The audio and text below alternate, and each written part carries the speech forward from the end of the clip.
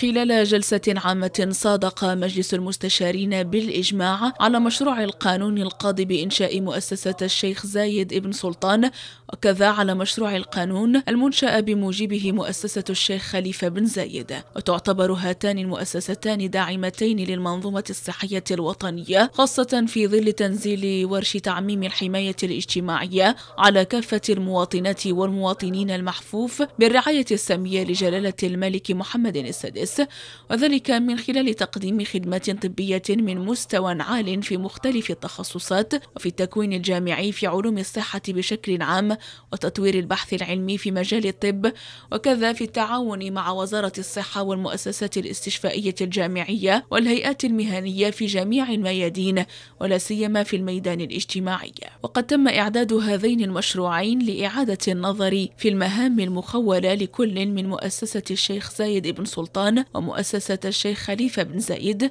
وتمكينهما من الانفتاح على ميادين صحية جديدة وكذا في إدارتهما الداخلية وحكمتهما بشكل يتوخى المرونة في الإدارة والتدبير والسرعة في اتخاذ القرار وذلك بالنظر إلى أن الحاجة أصبحت ملحة لمراجعة الإطار القانوني لهاتين المؤسستين حتى تتمكنا من الاطلاع الأمثل بالدور المنوط بهما كجزء لا يتجزأ من المنظومة الصحية الوطنية.